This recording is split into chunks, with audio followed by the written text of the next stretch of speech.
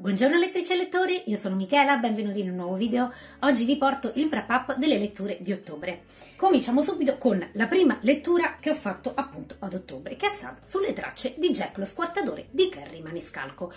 Di questo in realtà ve ne ho già parlato sul canale, ad ogni modo ne ho fatto anche una video recensione che vi metto su nelle schede se siete curiosi di saperne qualcosa in più. Lo avete visto comunque anche negli unboxing e quant'altro. Questo è il primo di una serie di quattro libri il cui libro conclusivo esce adesso a novembre, eh, appunto ho detto è il primo di una serie di quattro e ehm, innanzitutto vediamolo perché è bellissimo dal punto di vista estetico. Tutti e quattro libri sono usciti ehm, Oscar Mondadori, Oscar Volt Mondadori sono qualcosa di meraviglioso dal punto di vista estetico. Hanno tutti queste cover che io trovo favolose. Questa è la costa e questo è il retro. Poi si toglie la sovraccoperta, sotto la sovraccoperta abbiamo il poster praticamente della cover e sotto abbiamo questo elemento che richiama appunto l'interno del libro. Ha poi le pagine verdi, è uscito al costo di 20 euro per circa 370 pagine.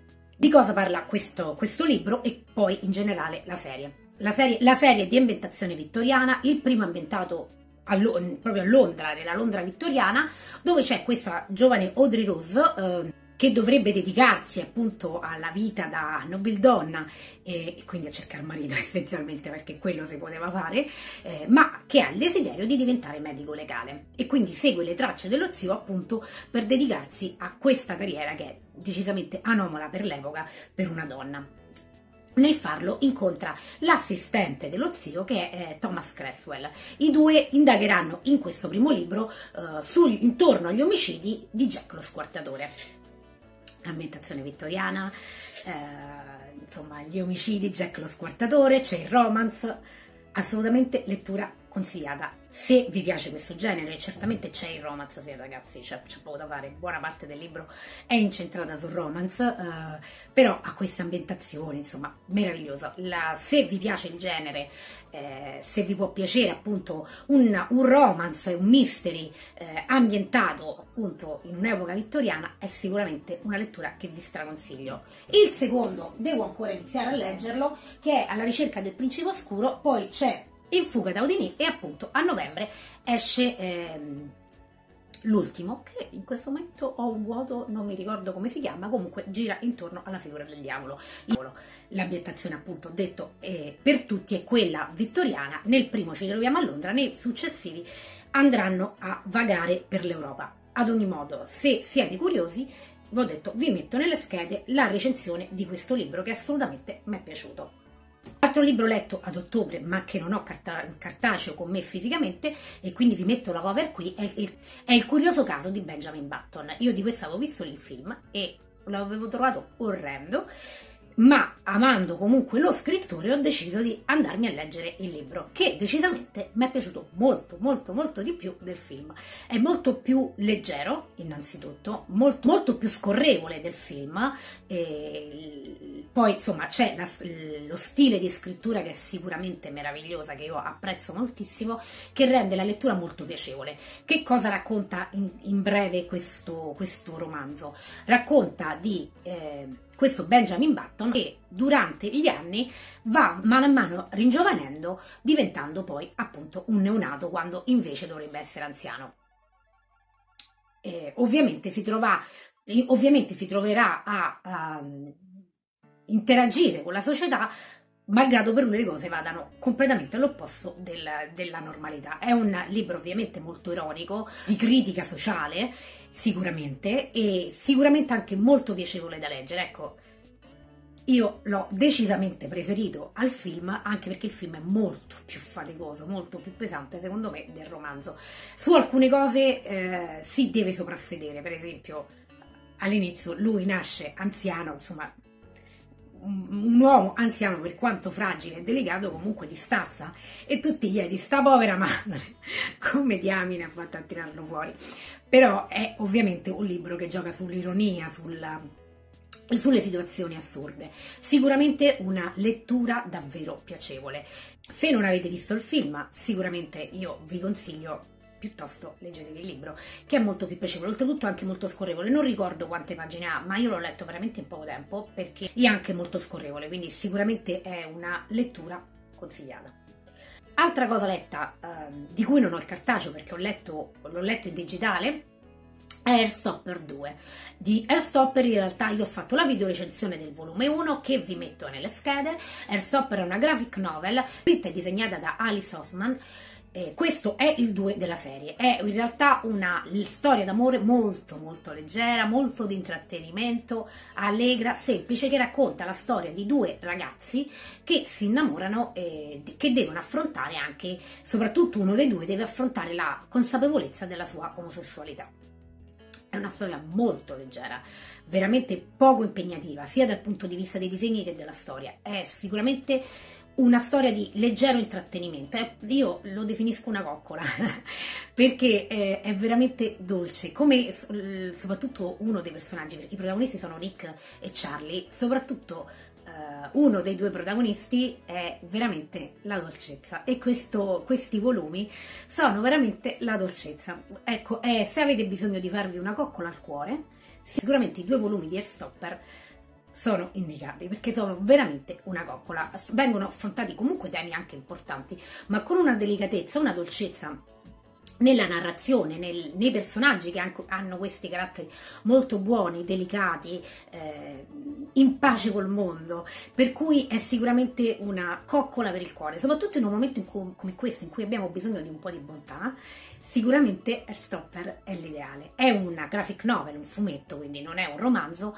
ma veramente leggero. Si legge anche in tempi brevi, mi pare, credo abbia sulle 200 pagine credo, ma non vorrei sbagliarmi. E ad ogni modo uh, sono comunque narrate in maniera molto semplice, sono parecchie pagine a vignette intere, insomma si legge anche in maniera molto veloce. Il secondo in realtà è molto simile al primo, eh, continua la storia appunto di Nick e Charlie, ci si sofferma di più su un dettaglio in particolare della, del, della loro della loro storia, di cui non vi dirò molto perché appunto tutto il volume si sofferma su questa ricerca di consapevolezza di uno dei due personaggi, che se vi dico è spoiler ovviamente, eh, quindi tutto il volume è incentrato, è, è incentrato intorno a questa ricerca e eh, però rispetto al volume mh, precedente vengono presentati nuovi personaggi. Sicuramente la mh, rappresentazione del mondo LGBT+, eh, qui sicuramente la troviamo fatta oltretutto veramente bene. Altra cosa letta sempre ad ottobre è Le 10.000 porte di January. Questo in realtà è l'arc che gentilmente la Mondadori mi ha mandato. Il volume in realtà è già uscito ed è qualcosa di meraviglioso. La sovraccoperta, all'interno della sovraccoperta è, è illustrata, le pagine gialle, insomma, quindi sicuramente il cartaceo è bellissimo. Veniamo al libro in sé. Anche di questo ho fatto la video recensione, comunque ve la metto nelle schede, sempre che non finiscano le schede, comunque nel caso cerco di mettervela giù nell'info box. Di cosa parla le 10.000 porte di January? È un mega libro, cioè un libro nel libro, che racconta di storie. Detto così avete già capito che è eh, molto simile al mare senza stelle, anzi spesso viene paragonato al mare senza stelle io devo dire, tra i due ho preferito l'altro, perché qui la narrazione o lo stile di scrittura della scrittrice è veramente lontano dai miei gusti. Però mi rendo conto che invece è molto più fruibile dalla maggior parte dei lettori, perché in questo romanzo abbiamo appunto un libro nel libro. Infatti le 10.000 porte di, di January, proprio le 10.000 porte sono un libro all'interno del libro che January trova e attraverso il quale capisce che può viaggiare attraverso i mondi tramite appunto queste porte. Quindi capite, insomma, che si parla di viaggi. Qui la narrazione è molto più dinamica rispetto al mare senza stelle. Qui il punto fondamentale appunto sono i viaggi. Eh, il mio problema con questo tipo di scrittura è che non mi vengono per niente descritti i personaggi. Per cui eh, io, non essendo amante di libri di, sui viaggi, punto e basta, e invece avendo bisogno di una scrittura sui personaggi molto più accurata di quella che viene fatta in questo libro, sicuramente l'ho apprezzato meno. Però appunto magari è più adatto a chi invece ama libri sui viaggi, è un fantasy. January che viene cresciuta dal signor Locke in questa villa all'inizio del Novecento, January che è di... Ehm, pelle mulatta, quindi è, è, non è bianca e non è nera, quindi non può appartenere né a un mondo né all'altro e proprio per il colore della sua pelle viene anche marginata dall'elite del, dell'epoca. E, che appunto cresce nella giadezza eh, a casa del signor Locke fino a quando non, tro- non trova questo libro, Le 10.000 porte. libro anche che le svela che forse eh, può ancora cercare il padre, che forse è ancora vivo. Quindi January ovviamente si mette a, a viaggiare per, queste, per questi mondi cercando il padre, ma soprattutto cercando la verità su se stessa. È sicuramente un libro, appunto, abbiamo detto, molto dinamico, che parla di viaggi, Ecco, io ho, ho, veramente un problema con questa scrittrice, evidentemente, eh, però appunto se siete amanti dei fantasy invece che raccontano di viaggi, magari può, piac- può piacervi.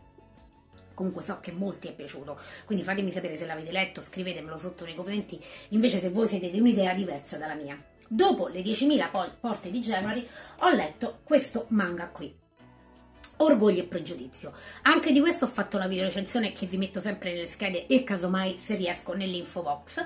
Ad ogni modo sono due volumi editi Cohen in italiano ehm, che racchiudono appunto la, la, versione manga della storia di Orgoglio e Pregiudizio della Austen. Io adoro Orgoglio e Pregiudizio, quindi mm, mi piace leggerlo in altre versioni, ho deciso di leggermelo anche in versione manga. Vi mostro qualche immagine di come è graficamente, è sicuramente una lettura piacevole per chi uh, conosce il, per chi ama, apprezza il romanzo, sicuramente non per chi non ha amato il romanzo, perché è la trasposizione quasi fedele del romanzo. L'unico difetto vero, grosso di questo fumetto, a parte il costo secondo me, perché sono due volumetti semplici, abbastanza fini e costano 5,95 euro l'uno, eh, ad ogni modo, comunque, almeno hanno una bella veste grafica, sicuramente la carta e, e l'edizione mh, valgono.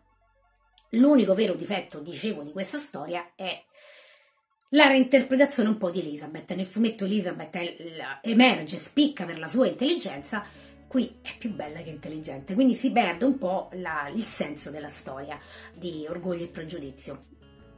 Ovviamente io non credo serva raccontarvi la storia di Orgoglio e Pregiudizio, comunque la storia di due sorelle, principalmente comunque della famiglia Bennett, dove crescono Elizabeth e, e la sorella Jane, eh, che crescono in questa famiglia dove la loro madre insomma è anche abbastanza shock e che vorrebbe soltanto vederle sposate, vicino alla loro casa si trasferisce Mr. Darcy, che è un uomo molto ricco, molto benestante. Tra Elizabeth e Mr. Darcy mh, mm, si instaurerà, instaurerà un un conflitto e amore reciproco dovuto eh, principalmente all'orgoglio e ai pregiudizi che, eh, che eh, investono sia l'uno che l'altro. Vabbè, un grande classico. Se proprio non l'avete letto, io credo che ormai la storia di Orgoglio e Pregiudizio la conoscono tutti, sicuramente è un'ottima alternativa se non avete voglia di leggere il romanzo ma volete invece conoscere la storia, è sicuramente un'ottima alternativa anche perché essendo una, un manga si legge in maniera molto veloce eh, sicuramente se non avete apprezzato la, la Jane Austen, il romanzo di Jane Austen, non amate il genere, non è il fumetto adatto a voi. Oltre a questo ho letto sempre in ebook uh, Thunderhead.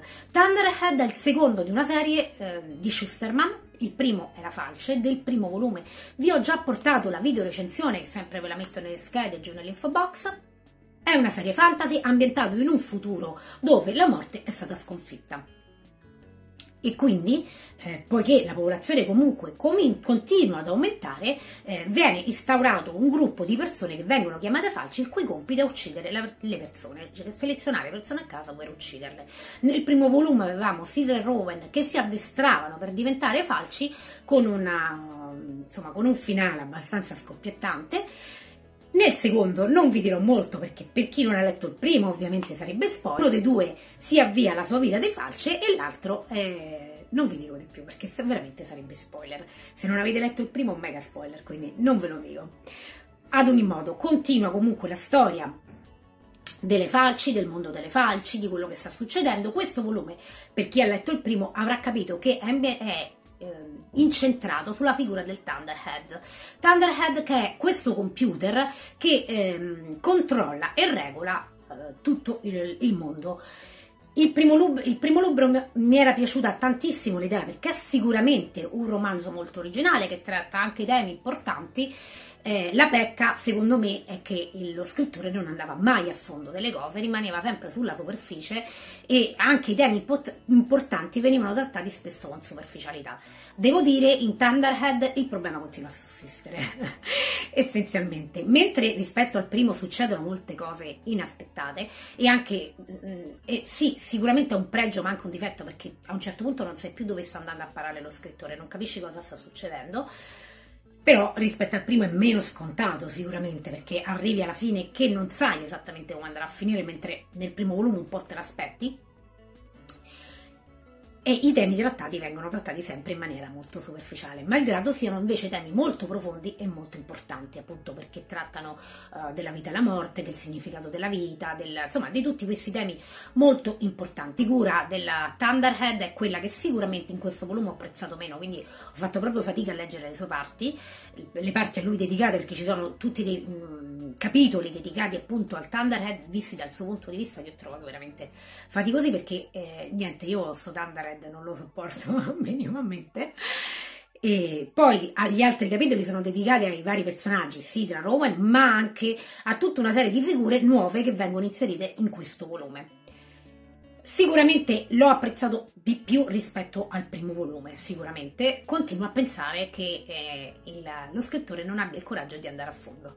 Continuo a, a, pensare che rimanga sempre sulla superficie delle cose, quindi lo trovo veramente un peccato in un volume che tratta temi così importanti. Se siete amanti delle letture fantasy, tanto avete capito che in questo canale abbondano le letture fantasy, sicuramente almeno è una, una serie molto originale tratta temi molto originali, diversi rispetto a quelli a cui siamo abituati. Quindi da questo punto di vista, se volete qualcosa di diverso, sicuramente ve lo consiglio, anche perché è molto leggero da leggere, la scrittura è molto scorrevole, si legge in poco tempo. Anche di questo è uscita una versione Oscar Volt, ormai abbiamo capito che la Oscar Volt ci sta portando delle perle estetiche, questo anche con le pagine verdi, la sovraccoperta, l'illustrazione della sovraccoperta, ormai insomma avete capito la, la gioia almeno estetica di questi libri sicuramente non manca.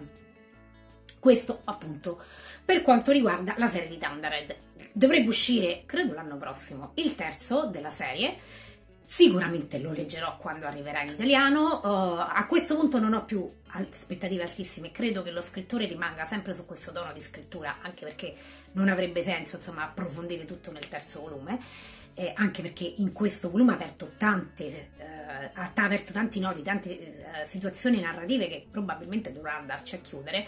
Sicuramente non è una serie che mi ha fatto impazzire, ecco, è una, è una lettura piacevole ma non strabiliante. Ultimo, ma non ultimo, delle letture di ottobre, chiediamo in bellezza, ed è Buffy, l'ammazza vampiri, volume 2 di questo anche dell'1 di questo ho fatto la video recensione sempre ve la metto al solito nelle, nelle schede giù nell'info box allora, innanzitutto questa è la variant, non è la cover che tradizionalmente trovate eh, in fumetteria o in libreria. Ad ogni modo, è il volume 2, il volume 1 ero impazzita dietro a questa serie, questo volume mi è piaciuto tantissimo, non ai livelli del volume 1, devo dire, però mi è piaciuto tantissimo. Innanzitutto questa variant, ragazzi, cioè, è qualcosa di meraviglioso. È un, vi dico subito, veniamo subito al sodo, è un volume che vi consiglio se siete amanti della serie, se venite da quella serie, sicuramente lo apprezzerete, considerando che è un reboot. Altrimenti è una lettura piacevole, carina, ma sicuramente che non vi farà impazzire. Eh, comunque piacevole per tutti quelli che sono amanti dei vampiri. Per chi invece è amato tantissimo Buffy, penso che questo volume lo possa apprezzare. Innanzitutto questa serie è un reboot, quindi è la storia di Buffy, i personaggi di Buffy ambientati in epoca moderna, quindi molte cose sono cambiate rispetto a come le, le conoscevamo. Incontriamo tutti i personaggi che ci sono, quindi Spike, Angel, la Scooby Gang, però sono molto diversi da come li conoscevamo, molto più simili al fine alla fine serie rispetto che all'inizio, sono molto più eh, consapevoli di sé e delle proprie scelte rispetto a come noi li abbiamo incontrati nella serie anni 90. Ovviamente per ovvie, per ovvie ragioni sono adolescenti del, del, del, 2020 e non adolescenti del, degli anni 90 come, come eravamo noi quando abbiamo visto la serie per la prima volta. Quindi ovviamente hanno un, dei caratteri molto diversi. Questo secondo volume mi è piaciuto sicuramente tanto, un po' meno del primo perché nel primo avevo i disegni di Damora che io stradoro, questo del secondo sono sicuramente, eh, cerco di non farmi spoiler, sono sicuramente bei disegni, però eh, io sono troppo amante dei disegni di, di Damora, insomma, e quindi ho faticato un po' nel cambio disegnatore, cerco di non farvi troppi spoiler. La narrazione continua rispetto al volume 1, ma abbiamo subito già da conclusione del volume 1 una, una, novità enorme che non ci si aspetta e che continua nel volume 2, che porta questo nuovo reboot molto lontano dalla serie eh, televisiva, perché succede qualcosa a uno dei personaggi che viene sconvolto e cambia radicalmente e soprattutto radicalmente da come noi lo conoscevamo e io lo sto amando. Adoro la narrazione di questo volume, la storia è sempre di Bel anche se insomma sotto la direzione di Joss Whedon che è lo stesso creatore della serie di Buffy. I disegni sono di Lopez, i colori di Angulo. Uh, che devo dire, il volume è sicuramente un ottimo volume. Oltretutto con un bel cartonato che devo dire non guasta mai. La qualità del cartonato è sicuramente alta. Questa è la cover variant e sta al costo di 21 euro, ma quello che voi trovate eh, in vendita mi pare che al costo di 19,90 euro. Alla fine abbiamo sempre la cover gallery che io devo dire apprezzo tantissimo perché così nel volume ci ritroviamo tutte le cover che sono uscite. Sicuramente è una serie che continuerò a leggere anche se il 3 dovrebbe uscire a gennaio nel frattempo dovrebbero uscire due numeri 1 di serie spin-off della serie di Buffy, che dovrebbe essere una di Angel e l'altra della Bocca dell'Inferno, credo, non lo so. Poi magari vi porterò notizie più sicure. Ad ogni modo, questo è tutto per quanto riguarda le mie letture di ottobre. Fatemi sapere voi che cosa avete letto, se quello che avete letto vi è piaciuto.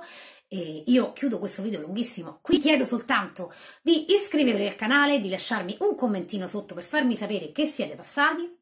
Auguro intanto buona lettura a voi, buona lettura a me e noi ci vediamo al prossimo video. Ciao!